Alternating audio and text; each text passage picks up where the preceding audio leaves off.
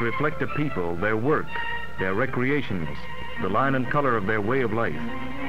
Under the direction of Mary Black of the Handcrafts and Home Industries Department of Nova Scotia, craftsmen of this province interpret what they see about them through their crafts.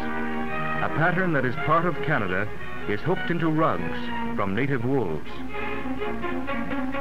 molded into pottery from native clays, carved from native woods.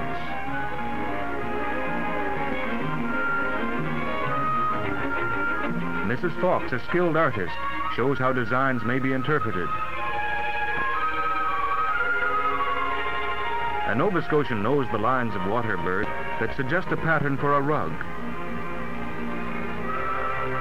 He knows the curl of shells, turned by repetition into a design in wool. Look out the window. There's the pattern of dykeland seen from Blomidon. Rows of plowed red fields trimmed with green. Designs are everywhere. Subjects for a hooked wool rug, a painting, or a song banks and breeze and streams are among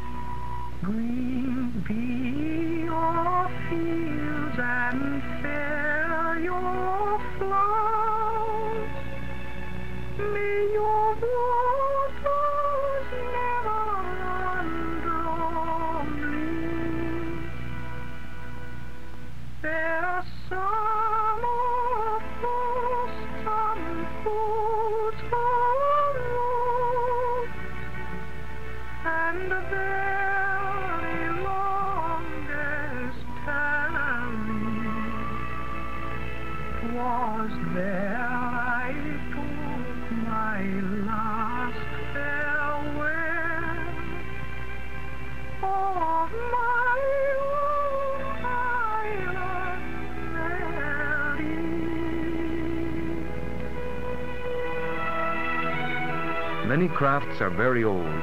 Some materials and designs are traditional, handed down from Scot and Acadian ancestors with the spinning wheels themselves. Then spinning was part of the daily work, and often feet grew weary on the treadle. Today, these same crafts may be to some a relaxation, and to others an art.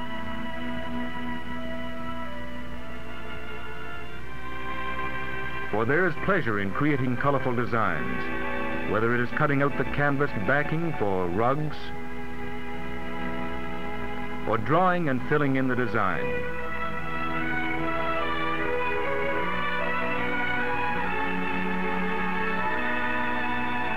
Each part of the work requires its own special skill.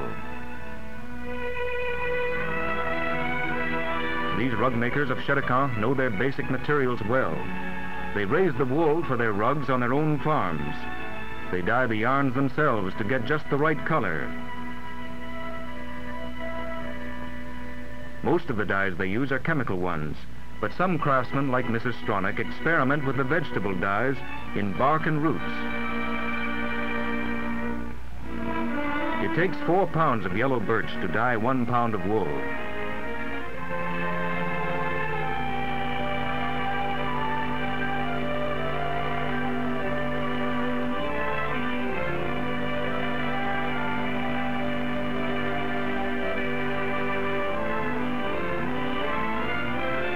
Yellow birch gives a rich yellow brown. Its color varies with the season. The bark gathered in the spring gives a light shade. If collected later in the year, it yields a darker tone.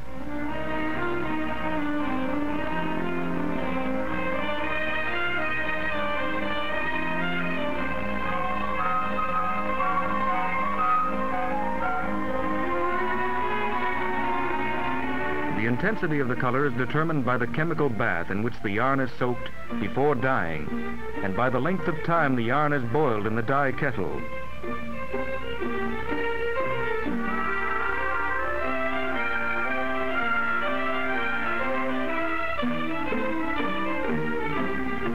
Natural dyes mellow gradually and blend, becoming lovelier with the passage of the years.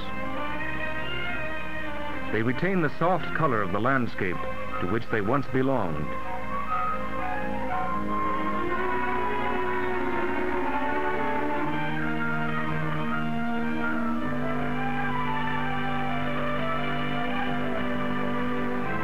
Angora rabbits provide a new material for spinning and weaving.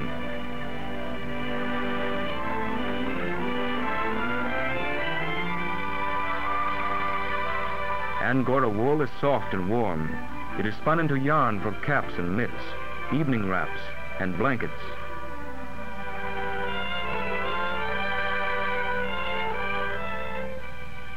Up in Cape Breton at the Gaelic Foundation Craft Center, students come in the summer to take a four weeks course in handcrafts. Here they learn how to weave, making fine articles for sale or their own use. When they return home, they will teach others how to work out new designs.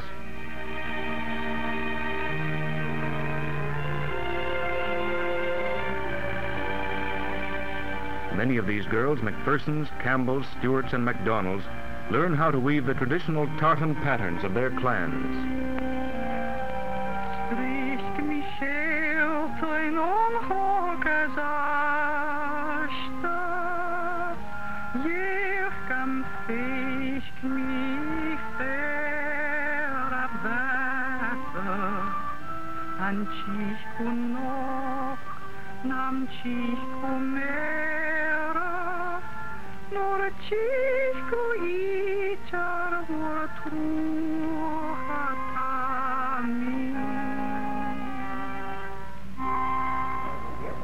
Once a year, the Highland Mod brings the clansmen to the craft center. Here there's a traditional greeting, a thousand welcomes to New Scotland. They reenact a milling frolic to the tune of Gaelic songs, rubbing the cloth across rough boards, match the fibers together. The work is measured in song.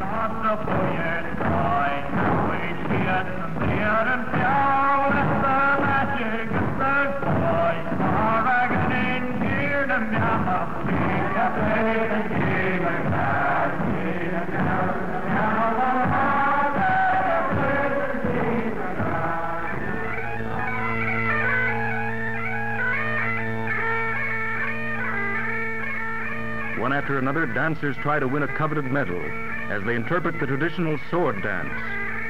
For this is what the Mod is, a contest of skills in song and dance, a meeting of the clans,